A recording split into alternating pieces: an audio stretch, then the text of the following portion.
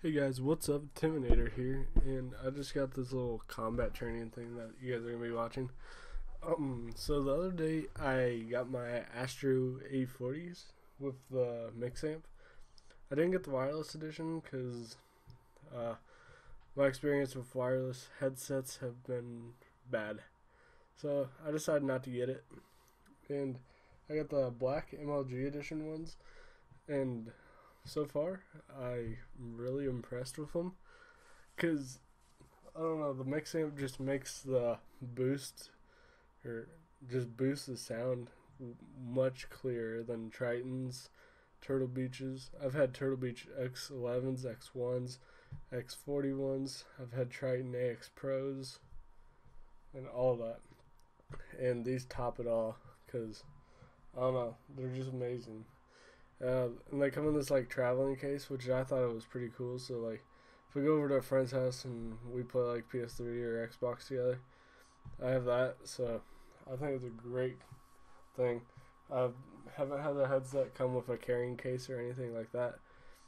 And um, the second thing is the speaker tags. Those are really cool. And the boom mic, um, you can have it on either side, the right or left, which is pretty cool. I always have mine on my left side, but that's just my preference. And you can, uh, like the ear pads, you can turn them in so like whenever you're like just taking a break, looking at your computer or something, just have them sit on your chest or something. It's pretty cool. But anyways, uh, I just wanted to give you guys this little update video of what I thought of my Astros so far, and it's pretty cool. And the map, the map pack for PS3 is almost here, guys. Um, March 3rd is the date. So I'm pretty excited for that because the first strike, I think it's going to be cool. The maps on Xbox look cool, so I think the zombie the zombies looks really fun.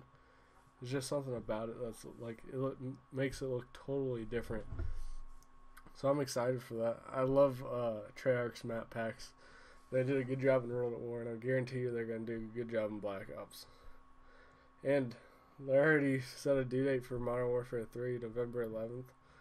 But I think all the Call of Duty games are out on November 11th. So that's pretty cool. And just around the corner is MLG Dallas. So if any of you guys are going, just that's pretty cool. Uh, I'll probably watch the live stream. I'm not gonna go. I'll go to one if there's in Chicago. I'll just spectate, but I think it'd be fun to go to an MLG event, see the pros and how they play under pressure and stuff. Cause I know I can play under pressure. Like the only I'm under pressure like I've played is at the GameStop tournament, but that's nothing compared to what these guys go through. They go on a main stage and everything.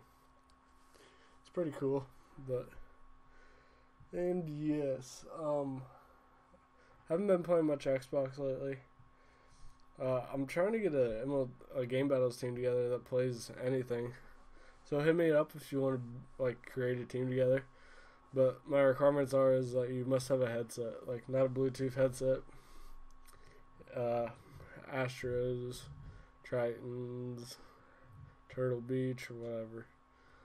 Just that kind of headset, because I want you guys to be able to sound horror. Because it'd be stupid if you couldn't because there's no point in GB. I think they need to update uh, whenever someone's defusing the bomb, it makes a tick sound. Because someone could just be, you have to keep consistently watching it. I mean, I don't dislike it, but I don't like it.